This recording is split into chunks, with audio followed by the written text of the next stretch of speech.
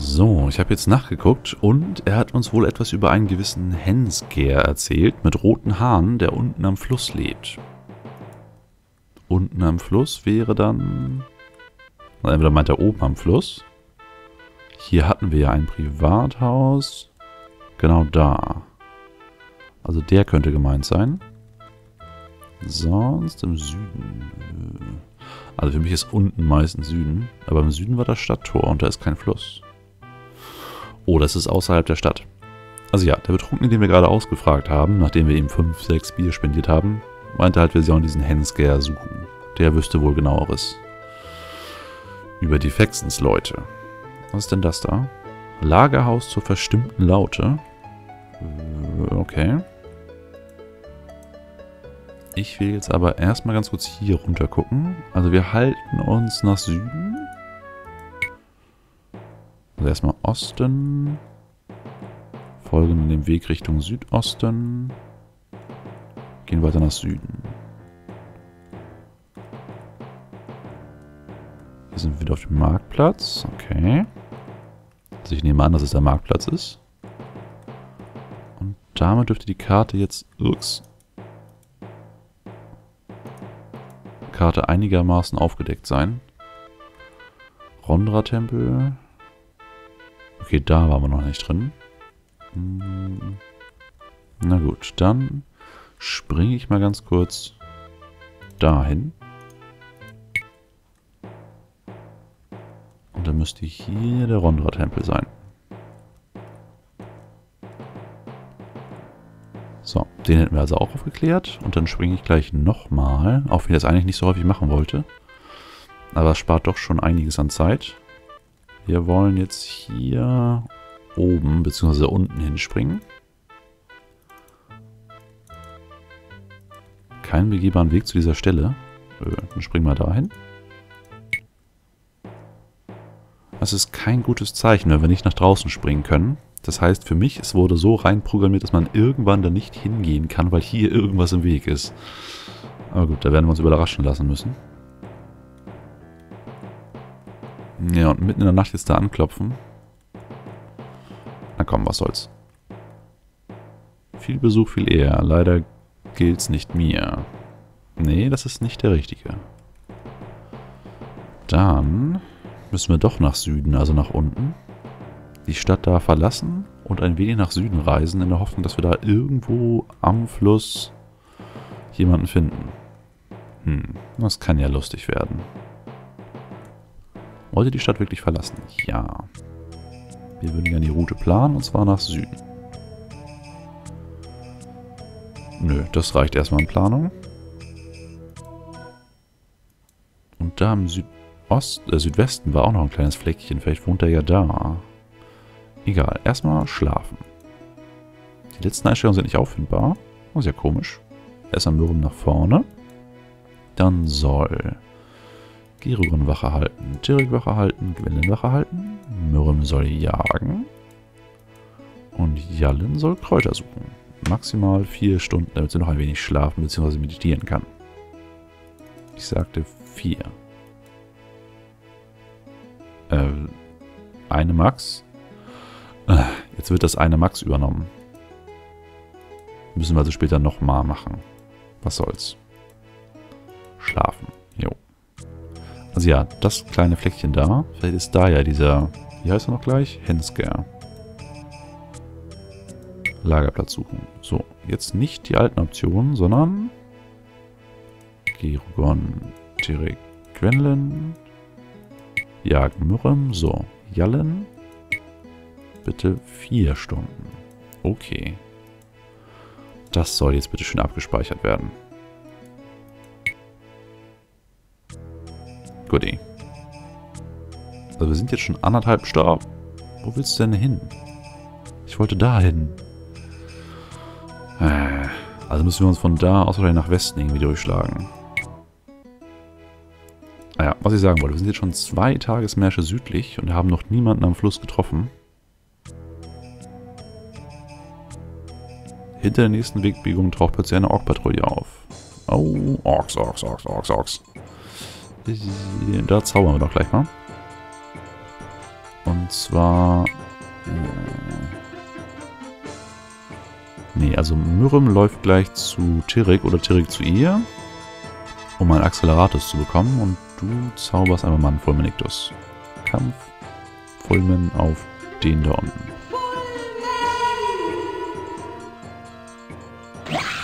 15 Trefferpunkte. Und er steht noch. Oh, Myrrem hat was komisches in der Hand. Warum hat sie die bloße Hand in der Hand? Äh. Na gut, lauf mal zu Tirik. Sichern. Das sind viele Orks. Zaubern. Kampf. Ignifaxius auf den angeschlagenen, aber nur mit, sagen wir mal, 4. Was denn 4 bis 24 ergeben müsste. Er hat schon 26 Trefferpunkte eingesteckt und steht immer noch. Das ist gar nicht gut. So, du gehst mal dahin.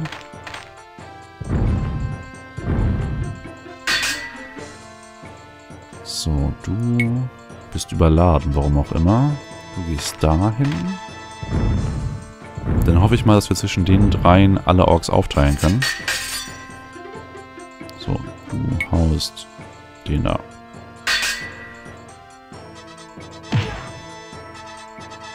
So, du gehst weiter da so hin. Und du zauberst gleich nochmal, wieder mit drei. Weil ich nicht unbedingt Astralenergie verschwenden will.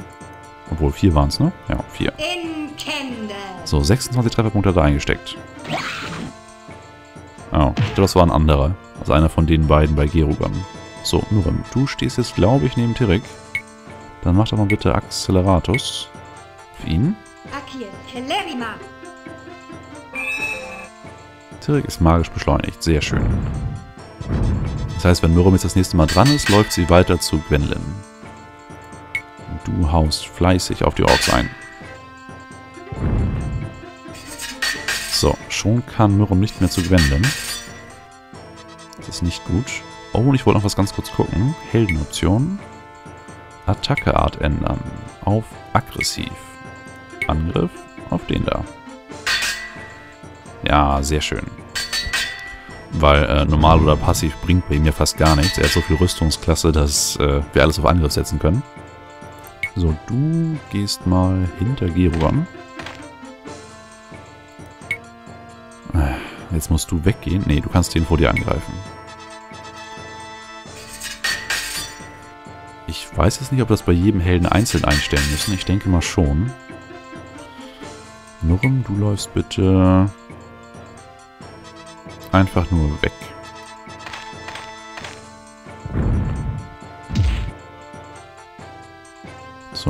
Du haust den bereits angeschlagenen.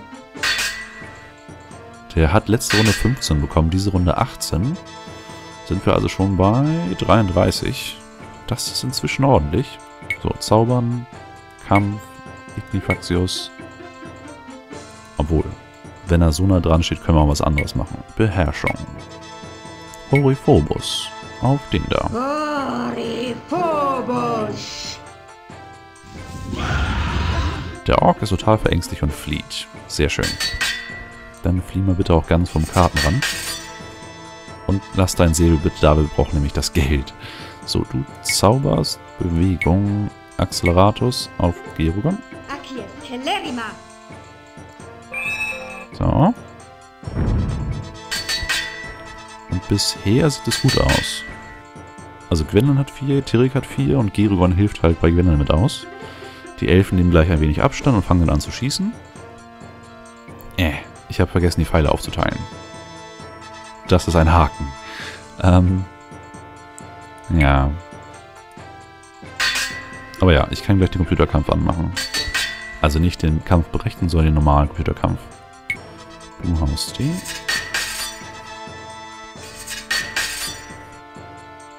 So, dann greif mal den an. Die, die hinter dir sind, werden von den Elfen angegriffen nachher. So, du wartest erstmal ab. Der eine Ork müsste ja eigentlich gleich weglaufen. Oder ist er jetzt vor Angst erfroren und bewegt sich nicht? Nee, nee, er läuft weg. Sehr schön. Angriff auf den da. So, komm schon, gib mir bitte Jallen. Sehr schön. Du gehst jetzt mal dahin. Und Computer. Erstmal Waffe wechseln. Waffe wechseln, Langbogen. Jetzt Computerkampf, die ganze Gruppe. Keine Magie. Und dann gucken wir mal, was Talana so anstellt. Also ob sie wieder Nahkampf stürmt oder nicht. Es wäre irgendwie kein normaler Kampf, wenn Talana das nicht machen würde. Also erstmal stundenlang in der Ecke hocken und danach dann in Nahkampf stürmen. Oh, das sieht aber sehr gut aus soweit. Ich hoffe mal, wir kriegen da jetzt gleich 4, 5 Säbel. Die wir dann gleich in Tiefhusen wieder verkaufen könnten. So, Jalla benutzt schon mal den Bogen, das ist sehr gut. Talana läuft in Nahkampf. So viel dazu.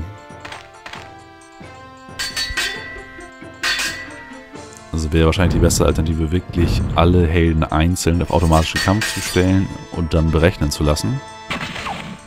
Also nein, nicht Kampf berechnen, sondern alle Helden auf automatisch kämpfen zu stellen, außer Talana. Und da drückt man immer auf Sichern, manuell. Das wäre die sicherste Alternative.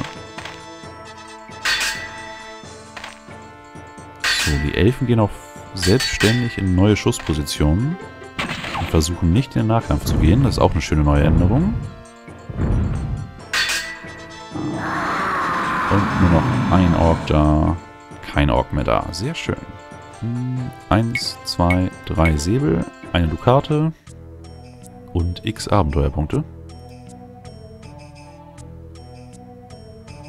Ein Nachtlager. Ja, das können wir machen.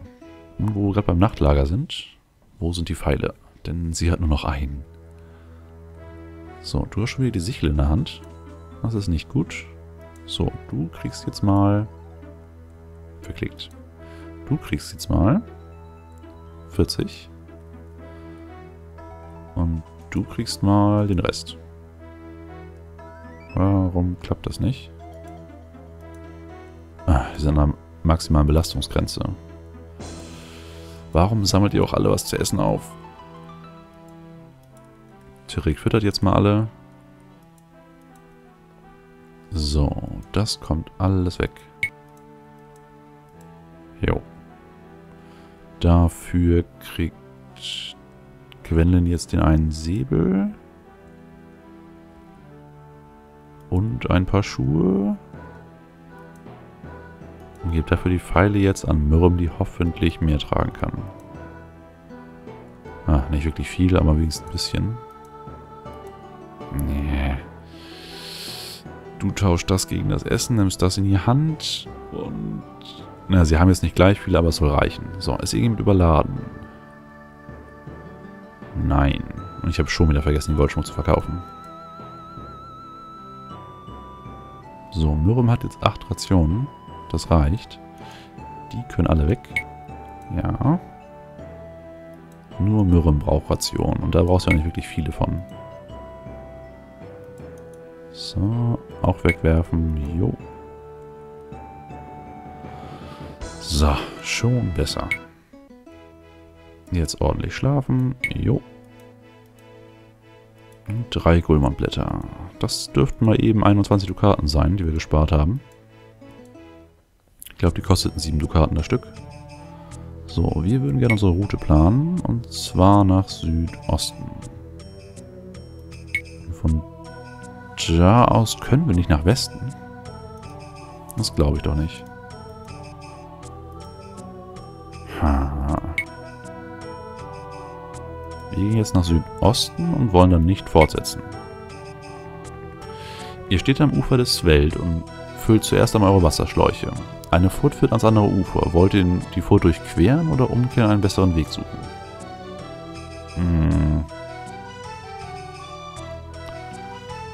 Wir durchqueren die Furt.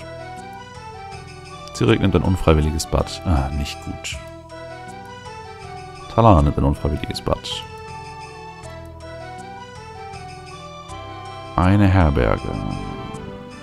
Und hier könnten wir auch ein Boot mieten, aber das will ich alles gar nicht. Ich will zu dem kleinen komischen Dorf da. Aber wir gehen erstmal in die Herberge. Denn wenn man so ins Wasser fällt, sollte man sich erstmal schön trocken machen. Tirik, bist du krank? Nein. Talana vielleicht? Nein. Sehr schön. Dann nehmen wir doch mal hier ein Zimmer. Ruhig ein Einzelzimmer. Und wir nehmen mal zwei Nächte. Damit wir ein wenig mehr regenerieren können. So. Und Talana, meditier bitte.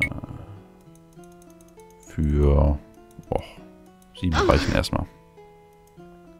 Schlafen, jo. So. Gleich nochmal, jo.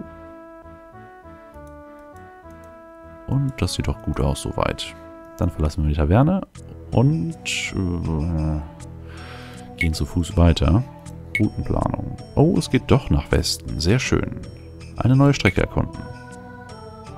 Dann geht es hoffentlich da irgendwo hin. In den letzten Minuten ist der Weg immer feuchter geworden und Mürren hat schon ein paar Mal bis über die Knie im Schlamm gesteckt. Jetzt könnt ihr sogar einige Sumpflöcher vor euch erkennen. Wollt ihr wieder umdrehen oder in die Fußstapfen eures Anführers treten?